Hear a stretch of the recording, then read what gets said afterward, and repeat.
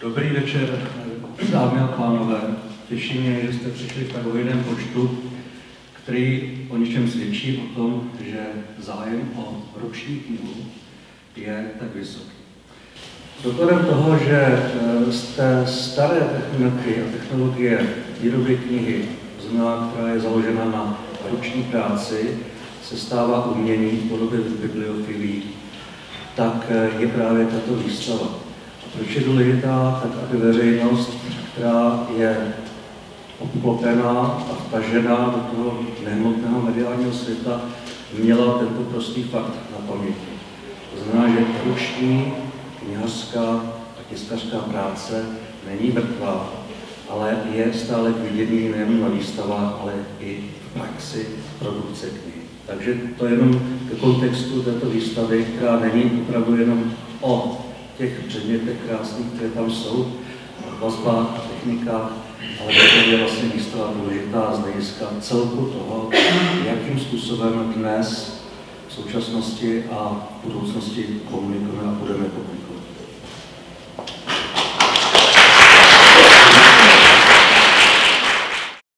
Když se řekne totiž jméno Kupka, tak jistě všichni víte. Je to ruční papír, sazba, knižky, individuální vazby, jsou to autorské knihy, jsou to bibliofílie. Všichni také víte, že Krupkovi jsou jednými z našich nejlepších, nejznámějších, nejoceňovanějších knihařů. Takže jsem si říkala, že tohle tady nemusím opakovat a že asi ani nemusím vyjmenovat všechny ceny. A, a radši bych tady řekla něco o tom, protože je to výstava k jubileu, jak to trošku začínalo. A jedna ta šťastná okolnost byla, že Lubomír Krupka se roku 1983 přihlásil do fondu českých výtvarných umělců jako umělecký řemeslník, což e, vlastně byla tehdy jediná možnost, jak pracovat takzvaně na volné noze, relativně svobodně a ve své vlastní dílně. Druhá šťastná okolnost byla, že Krupkovi dostali jako svatební dar v roce 1975 parcelu v úvalech Prahy, kde se rozhodli postavit dům. Prý jim zbylo nějak moc cihel. Nevím, jaký jsou, jaké, jaký jsou matematikové, ale rozhodli se, že si z těch cihel postaví ještě dílničku. Takže si postavili dílničku a dům pořád stojí. Dílnička se rozrůstala, rozrůstala. A asi možná tušíte, že to není jedna dílna, ale jsou to dílny tady dvě. Jedna dílna je strojovna. Ta je vybavená na sazbu a knižtisk a druhá je knihovazačka, kde vznikají jejich nádherné knižní vazby. A vy, kteří Krupkovi znáte, asi dobře víte, že tady ty dílničky jsou mnohonásobně větší než jejich prostor k žití. Ale když člověk jenom pracuje a věnuje se tomu, co ho baví, tak asi nic moc nepotřebuje. Možná jsem tam nějakou dovolenou. Ale Krupkovi nejezdí jenom nějakou dovolenou. Například je to táhne do losy. A dejte proč?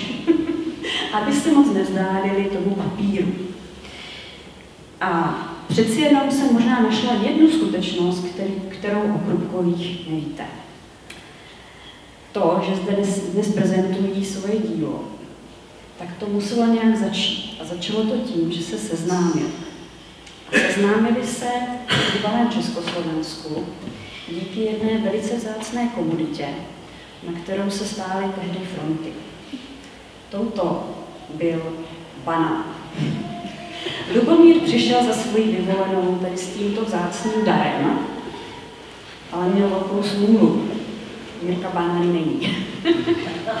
Nicméně, na rande spolu šli a takhle se začal roz, rozvíjet náš příběh. Vyrábět vlastní bibliofilie začali prý proto, aby měli co vázat. Pro tehdy mladou rodinu s dvěma dětmi byly bibliofílie z oficiálních bibliofilských nakladatelství příliš drahé. Taky nechtěli vázat ledajaký paperback, takže se rozhodli, proč neskusit vydávat bibliofilie vlastní. V, tom, v té době už měli zkušenosti vázání knih pro známá vydavatelství bibliofilská, například Trigon, Aulos, Bonaventura a mnohé další. Takže od roku 1997 jste, jste vytiskli více než 50 vlastně bibliofilických titulů či autorských knih. A Krupkovi by určitě neřekli ještě jednu skutečnost, a to je ta, že svými autorskými knihami překračují hranice uměleckého řemesla a pronikají do sfér, do sfér uměleckých, protože autorská kniha Autorskou knihu využívají umělci různých odvětví, protože autorská kniha vlastně spojuje všechno, co si pomyslíme. Ať už je to kresba, malba, fotografie, grafika, skulptura a dokonce i architektonické pojednání. To je všechno autorská kniha. O bibliofilích tady máme takovou krásnou knižku. Není to katalog výstavy, ale říká, Krupkovi tomu říkají dokument, tam můžete nahlédnout. Tam se dozvíte všechno, eh, podrobně všechno o jejich vazbách, o jejich bibliofilích a některých autorských knihách. A já bych tady chtěla zmínit pár titulů tady těch autorských knih, protože ty jsou dnešními slovy highlight tady toho vydavatelství ve stráně. A jsou to, jsou to knihy, které spojuje jedno, a to je láska k přírodě.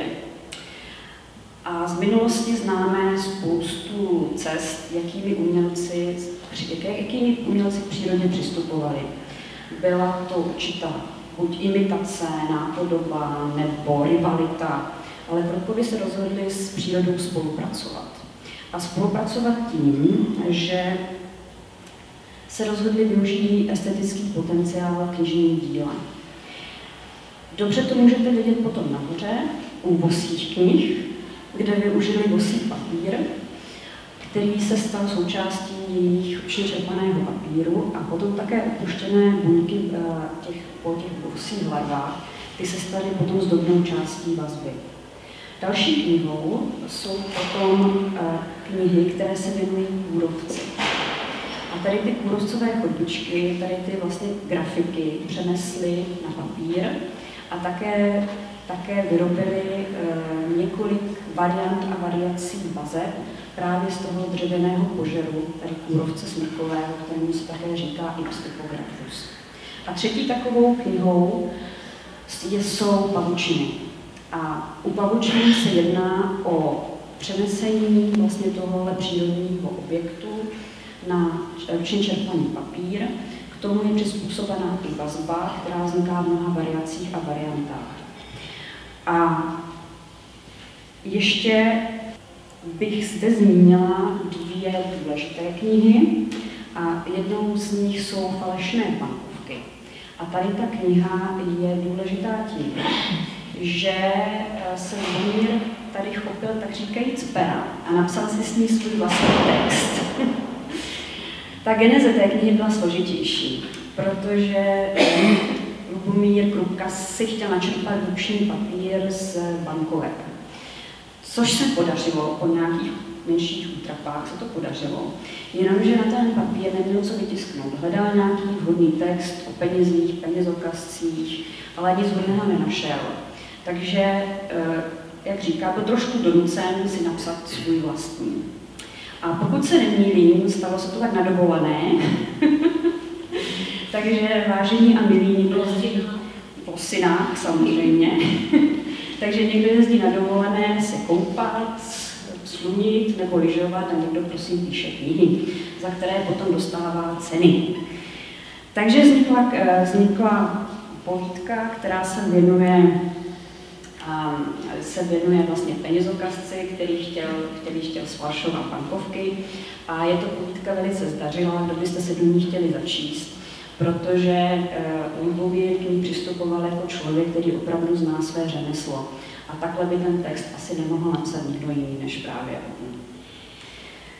Další důležitou knihou, která je podobně koncipovaná, je Liber Kva, ke kterému Lubomír taky napsal text a tentokrát zamířil do 16. století a vypráví tam příběh Mícha, který je fascinován vyprávěním jednoho svého staršího předchůdce, jak klášter postihla povodeň a oni tam zachraňovali knihy, ale jedna vypadala, jako kdyby se povodeň voda vůbec nedotkla.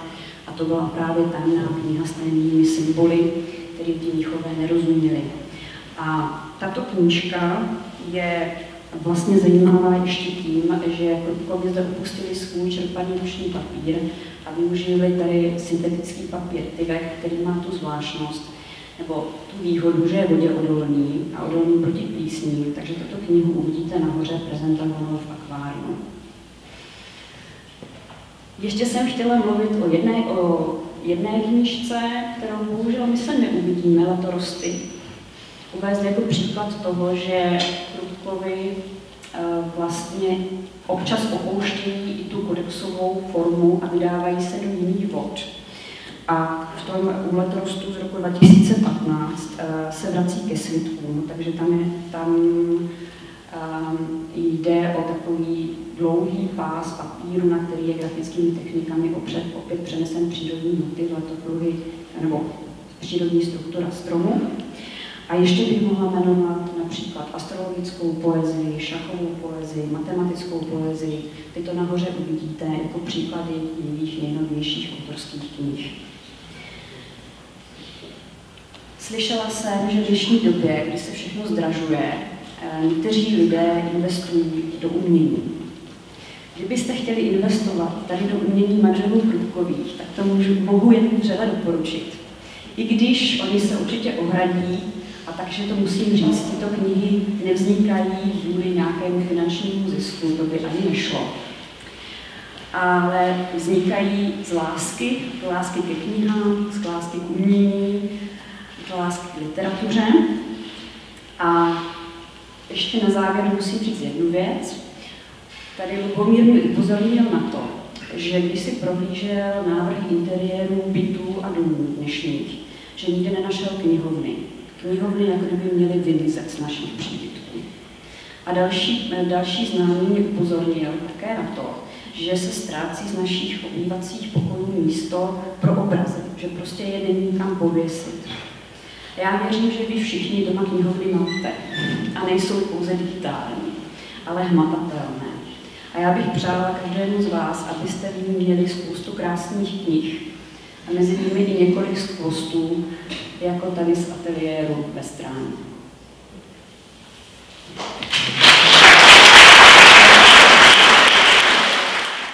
bych velice rád poděkoval lidem, který nás, kteří nás provázeli na té naší cestě. V prvé řadě bych jmenoval pana Veselého z Nenačovic, byl knihtiskař, který nás eh, váděl do knihtiskařského řemesla.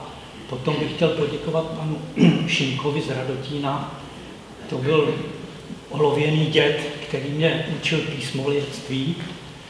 Dále bych chtěl poděkovat panu Kocmanovi, který trval na tom, aby jsme se naučili čerpat ruční papír. A dále bych chtěl poděkovat panu Rostislavu Vankovi, který, když jsme si nevěděli rady s typografií, tak jsme ho oslovili a vyšel nám vždycky vstříc. Pak bych chtěl poděkovat ještě mm, Evě Čapkový, Evě Čapkové a Oldovi Hamerovi, kteří ilustrovali naše, naše poslední tituly. A v neposlední řadě eh, panu Vyskočilovi, tam nahoru, který nás udržel v našich začátcích a nenechal nás padnout. Naposledy bych chtěl poděkovat své paní, který bydlím, a za tu její úžasnou řemeslnou dovednost a za bezbřehou trpělivost, které aspoň většinou. Děkuji moc, děkuji, že jste přišli.